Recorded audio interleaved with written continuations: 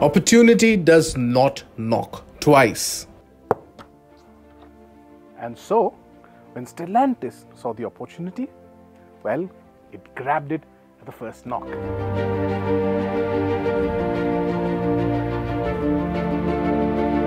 So, what is this? So let's come to the design of this room. What is it all about?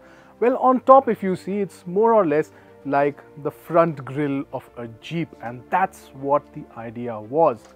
But the main talking point, obviously, are the speakers that you see here. Now, this is the first time in India that you have a Dolby setup of 9.1.6. What does that mean? Well, you can see the speakers around me, right? There are nine speakers at the bottom, there are six speakers at the top, and there is this one big subwoofer. So 9.1.6, and that means you get the most immersive sound experience that you'll ever imagine, which is why even Dolby has given Stellantis this plaque, which basically means that this has been approved by Dolby and is a first in India to have this kind of an immersive sound experience kind of studio.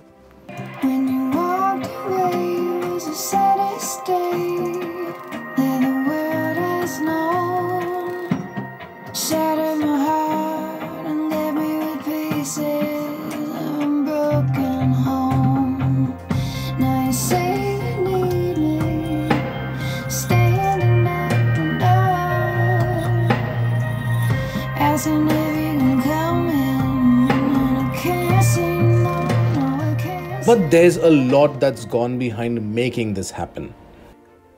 I think we were very, very clear on the objectives from the get-go. And uh, we've done everything based on simulations. 80% of the work was done based on simulations. That gave us a total corpus of the aggregates in the sense that we knew exactly what's going to go inside the room from a civil engineering point of view, from a uh, material perspective, and then the kit. So um, since we had an idea of what the bandwidth for this room is going to be, we also understood uh, what are the, the lacunas. And for that, we auditioned a lot of studios, music and video studios down south and Mumbai, which are the main production houses in India. We understood uh, the good and the bad points from those studios, and we wanted to address those areas. And once we had that information, that coupled with the simulations, we dialed in everything. And then it was just a matter of, uh, you know, typical project management, where we set really, really steep targets for ourselves, and uh, we completed the project in 53 days. So the room that you see here is a floating room. It's suspended with 3 feet of padding in front and 1 foot on the sides, thus making sure that the room has the best acoustic experience you'll ever hear. But how does this help develop car entertainment? The fundamental idea behind this room is referencing.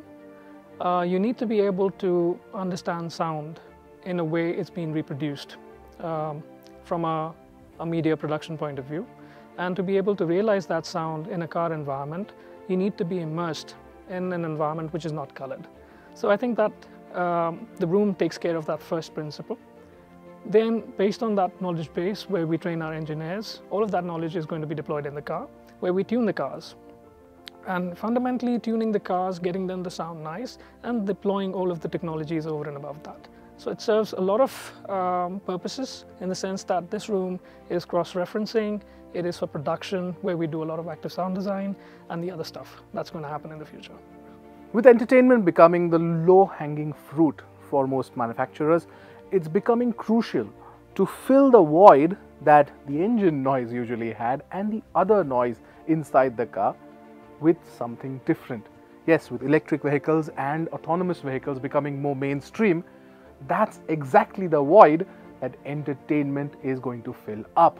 And with sound designs, with extremely intricate uh, sound options designed in this very studio, Stellantis wants to give the customers a choice about what they want to experience in their car.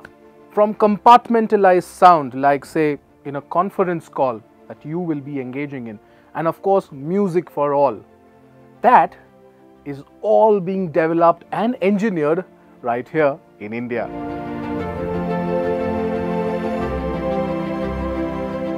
Yet again, we see India becoming a stronghold for global technologies.